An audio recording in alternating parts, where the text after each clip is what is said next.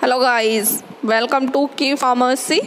Today I'm going to discuss about co-transmission in autonomic nervous system. Please watch complete video to understand well. Latest video update के लिए bell icon पे click करें let's start today session what is co transmission Co-transmission is the release of several types of neurotransmitter from a single nerve terminal. एक nerve terminal से बहुत सारे type के neurotransmitter release होते हैं तो ये कहलाता है co transmission what is co transmitter co transmitter is chemical substance that is released along with primary neurotransmitter. Co transmitter एक केमिकल सबस्टांस होता है, जो कि प्राइमरी न्यूरोट्रांसमीटर के साथ रिलीज़ होता है।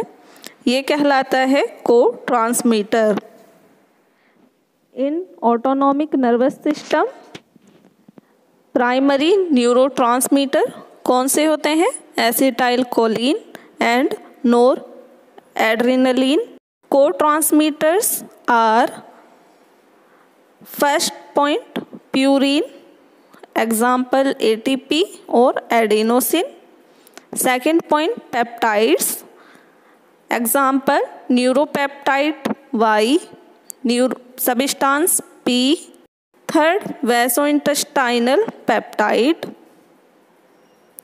third point nitric oxide fourth point prostaglandin ये क्या है हमारे? को ट्रांसमीटर्स हैं, जो कि प्राइमरी न्यूरो के साथ रिलीज़ होते हैं। Examples first point, first example acetylcholine ये है हमारा प्राइमरी न्यूरो ये है ग्लूटामेट को रिलीज़ मीन्स ये है हमारा को ट्रांसमीटर तो ये क्या होते हैं? दोनों वेसिकल्स के अंदर फिल होते हैं। अलग अलग वेसिकल्स में फिल होते हैं या फिर ये कह सकते हो दोनों एक ही वेसिकल्स में भी फिल हो सकते हैं। तो ये क्या होते हैं? एक ही साथ रिलीज़ होते हैं। और कहाँ से रिलीज़ होते हैं? न्यूरॉन से। Next, acetylcholine. ये हमने बताया अभी कि ये है primary neurotransmitter vasoactive intestinal peptide ये है हमारा को ट्रांसमीटर दोनों एक साथ रिलीज़ होते हैं।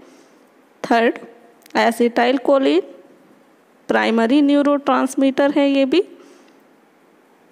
कैल्सिटोनिन जीन रिलेटेड पेप्टाइड ये हमारा क्या है? को ट्रांसमीटर दोनों एक साथ रिलीज़ होते हैं। और and ATP are sympathetic co transmitters ये क्या है? को ट्रांसमीटर्स हैं। तो ये हैं हमारे चार एग्ज़ाम्पल जो कि न्यूरो और ट्रांसमीटर दोनों के हैं।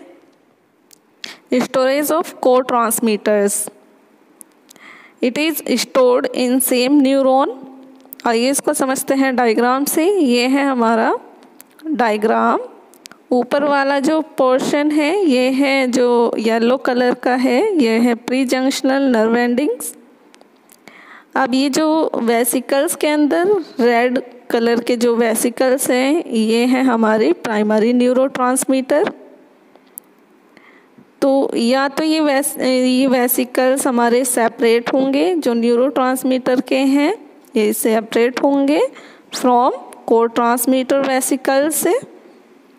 ये है को ट्रांसमीटर वेसिकल्स तो देख रहे हो, ये ग्रीन कलर के से इंडिकेट किए हुए हैं। जो ये ग्रीन कलर के हैं, ये हैं हमारे को ट्रांसमीटर जो रेड कलर के हैं सर्किल में ये हैं हमारे प्राइमरी न्यूरो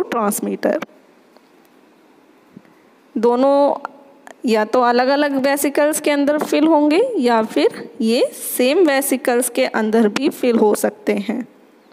ये है नीचे वाला पार्ट जो ग्रीन कलर का है। ये है post junctional nerve endings post junctional nerve ending के ऊपर ये ग्रीन कलर के रिसेप्टर प्रेजेंट हैं, जिनको आर वन से इंडिकेट किया हुआ है।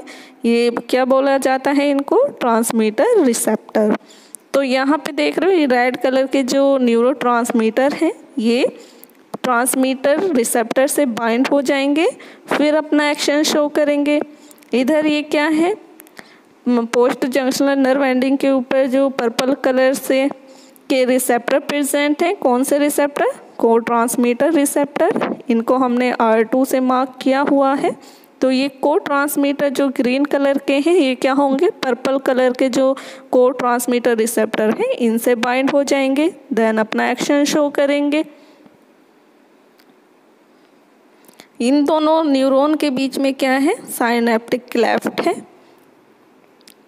फिर जो हमारा prime pre junctional nerve ending है। इनके ऊपर भी हमारे को ट्रांसमीटर रिसेप्टर प्रेजेंट है। तो ये को ट्रांसमीटर जो रिलीज़ हुए हैं साइनेप्टिक क्लेफ्ट में, ये को ट्रांसमीटर रिसेप्टर से बाइंड करेंगे।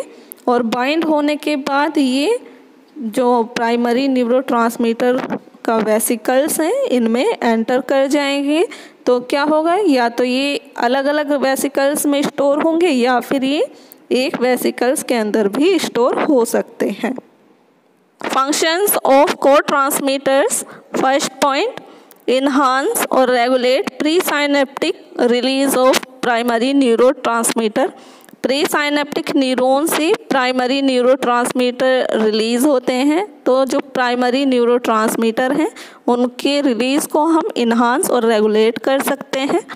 Second point modulate postsynaptic sensitivity of primary neuro primary neuro की जो सेंसिटिविटी है रिसेप्टर से बाइंड होने की, उसको हम मोड्यूलेट कर सकते हैं। Third point serve as an alternate to primary neuro means यहाँ पे को ट्रांसमीटर और प्राइमरी न्यूरो ट्रांसमीटर एक साथ रिलीज़ होते हैं। तो जैसे दोनों एक साथ रिलीज़ होते हैं तो एक न्यूरो दूसरे न्यूरो के फ़ंक्शन को अल्टर कर देता है, जिसकी वजह से क्या होता है?